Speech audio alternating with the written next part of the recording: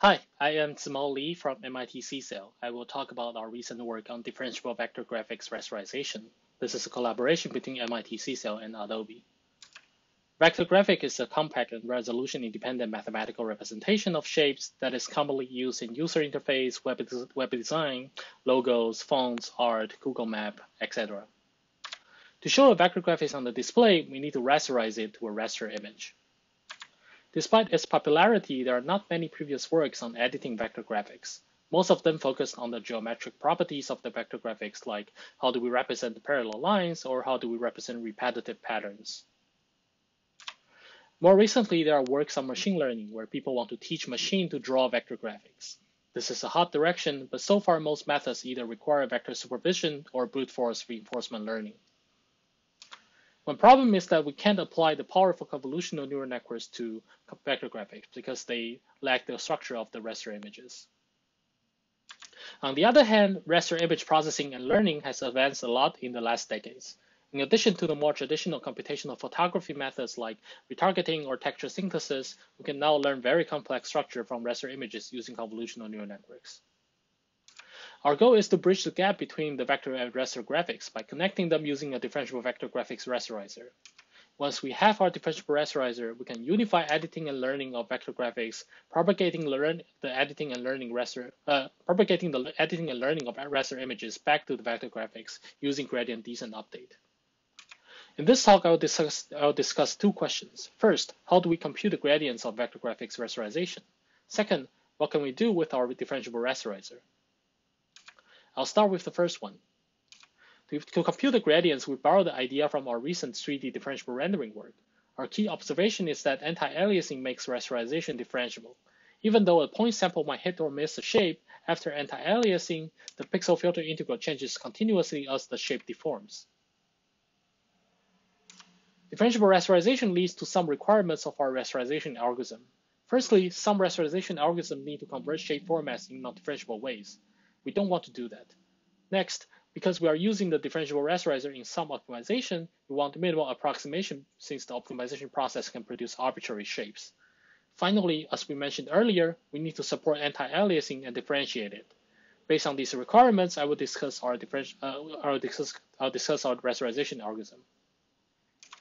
I'll start from the representation. We follow the scalable vector graphics representation, or SVG, which is the standard representation of vector graphics used in practice.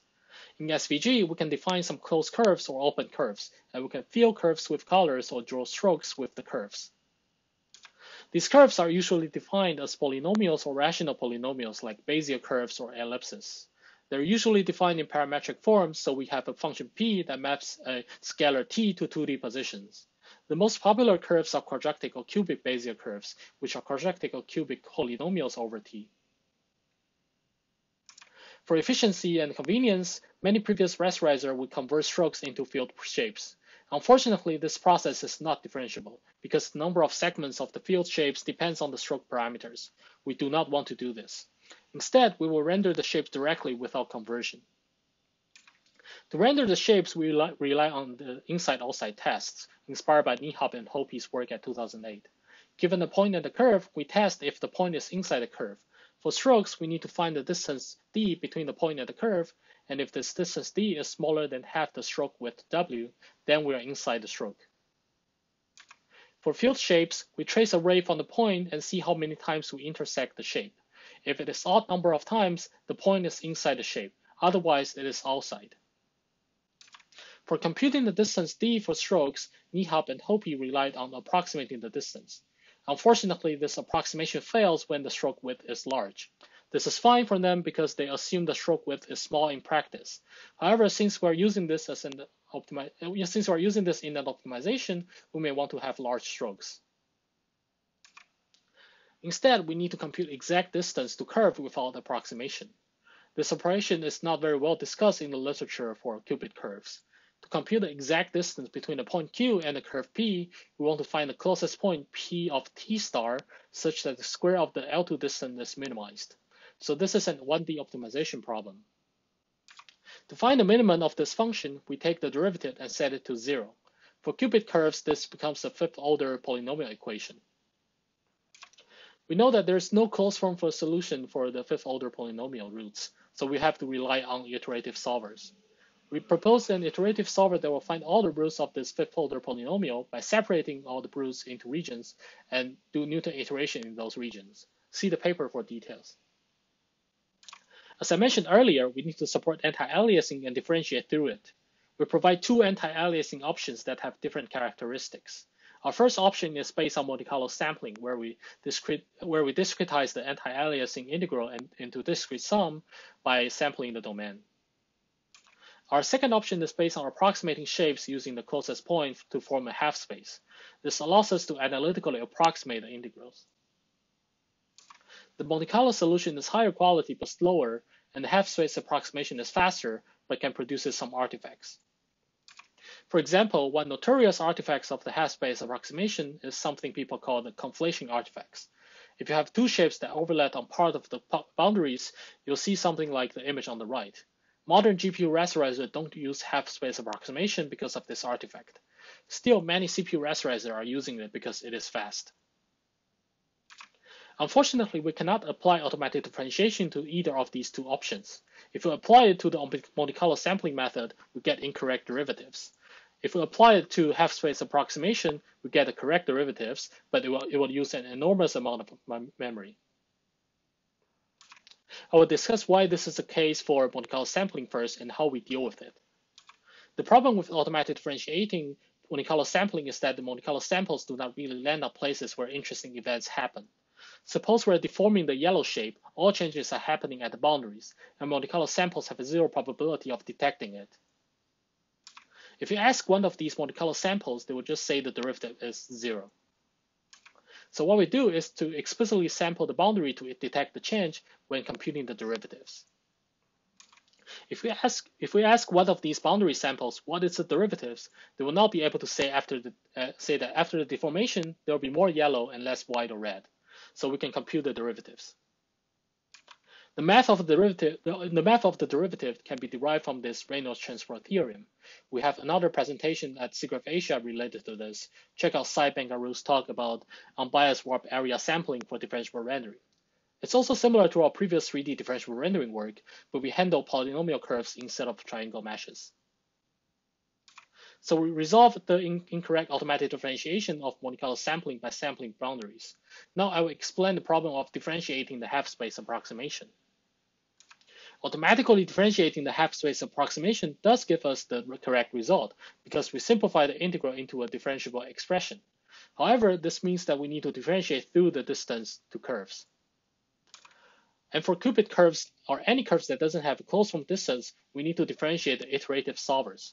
Remember that we can turn the distance into some optimization problem where we find the roots of the derivatives.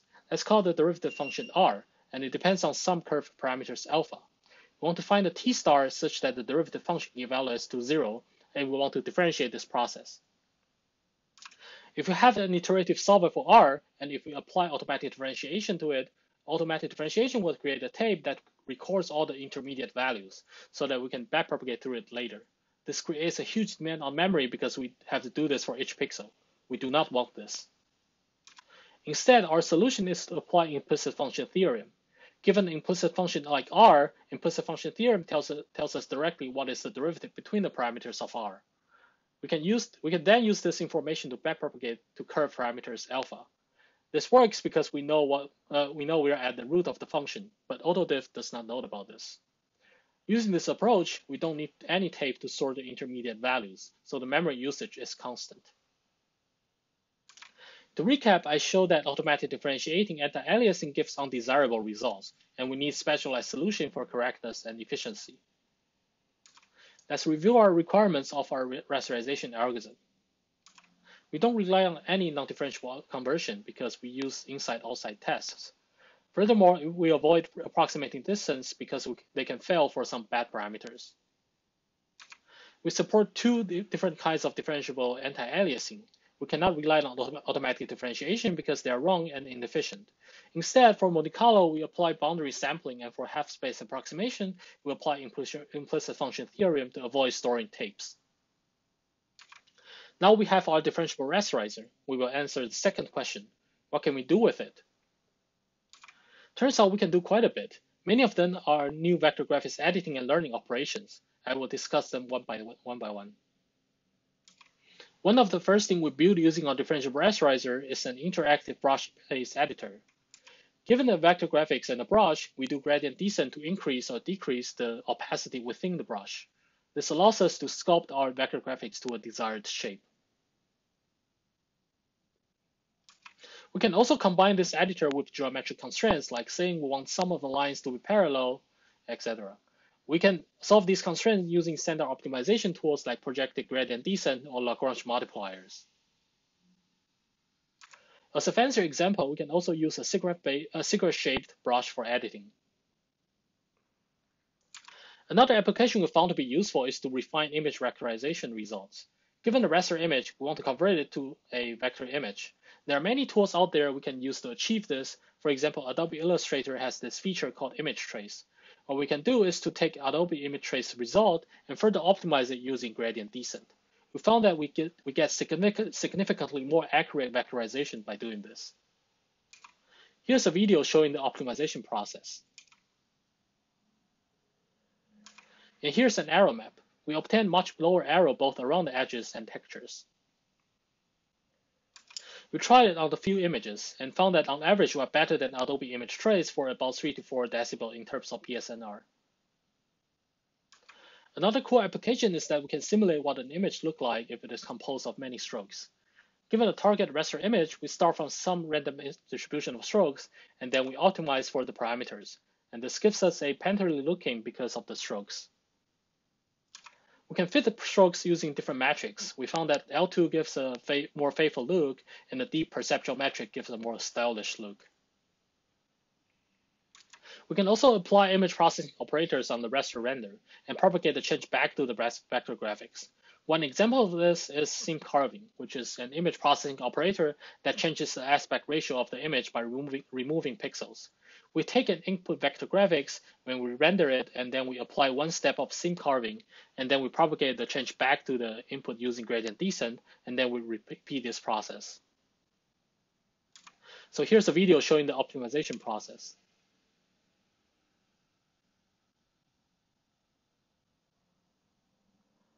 Finally, we also did some early experiments with deep learning. We want to take raster training data and learn the vector structure inside them. We train this vector autoencoder, so the network takes a raster training image and produces a vector graphics. We then take the produced vector graphics and render it with our differentiable rasterizer. We then compare the raster rendering and the input and backpropagate the gradients to the network weights. In this way, we can learn the network that produces vector graphics given raster images. We can also sample from the network to generate new vector graphics by tweaking the latent variable in the network. So given the target raster images from MNIST, our network can output vector graphics like the one on the right. These vector graphics are infinite resolution compared to the target raster images. Alternatively, we can generate a generative adversarial network. So instead of taking the raster image as an input, we train a classifier to classify between the rendering and the raster training data. So here's some sample from our vector GAN generated by sampling the latent variable. These results are fine, but GANs are more difficult to train, so we don't get results as good as a variational autoencoder. Because now we can sample digits in the latent space, we can also interpolate them. If you ever wonder what the integer between 0 and 1 looks like, here's it. One major limitation of our work is that we do not have anything, we do not do anything to the vector topology. This is both a blessing and a curse. Real vector graphics has complex topological structure like the one we show on the right. We preserve this structure during the optimization, but we do not synthesize more. Maybe some language processing models like RNN or Transformer can help generating the topology. So that's it. In conclusion, we show that there are promising applications we can do with differentiable rasterization. Technical wise, differentiable rasterization requires us to rethink vector rasterization and automatic differentiation. The code is available at our project site. Thanks.